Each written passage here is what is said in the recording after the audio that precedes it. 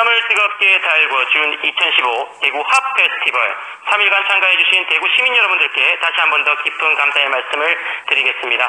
다가오는 2016년에도 다양한 프로그램과 좀 더 많은 대구 시민 여러분들이 참가할 수 있는 멋진 축제로 찾아뵐 것을 약속드리겠습니다. 이상으로 함께했던 모든 시간 여기서 문을 닫도록 하겠습니다. 지금까지 진행의 전문사회자 땡땡땡 이었습니다. 돌아가시는 길 안녕히 돌아가시기 바라겠습니다. 함께 해 주신 여러분 대단히 고맙습니다. 안녕히 계십시오.